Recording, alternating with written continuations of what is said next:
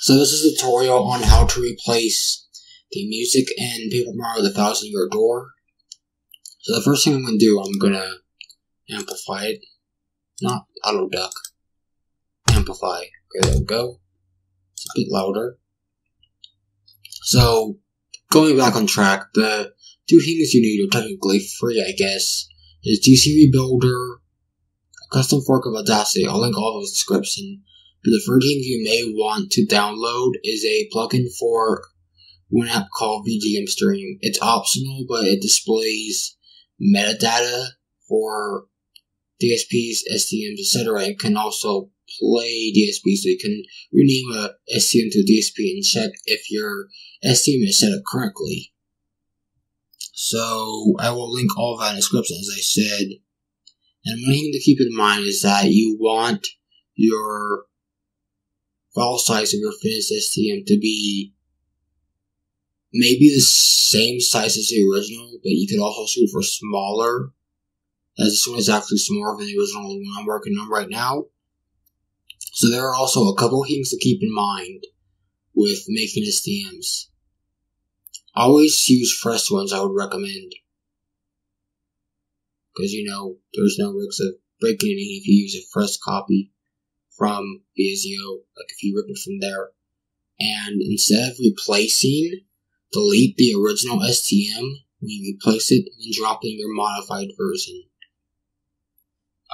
So the next thing we do, which is pretty much the only thing you can get to do here, is add a label track. We're gonna go to select all, right here add label selection and we're going to type in this loop in capital letters. Then we're going to modify the label. 01 21 and the end looks about right.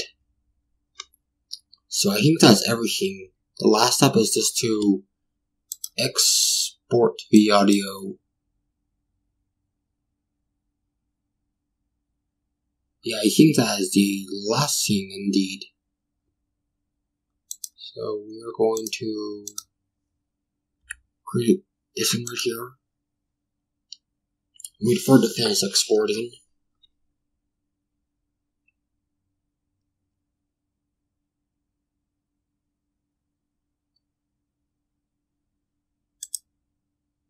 Then we're gonna go into here.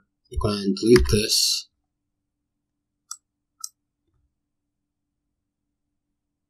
And then we're going to go into here, delete this.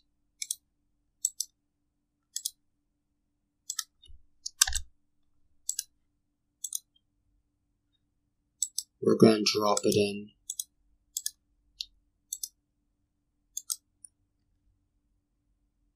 Oops, wrong place. My bad. I can blame being half asleep right now, I guess. And then we're going to close this, reopen root, save, test Visio, and then once we rebuild this, we can go test this in Dolphin, and it will probably work.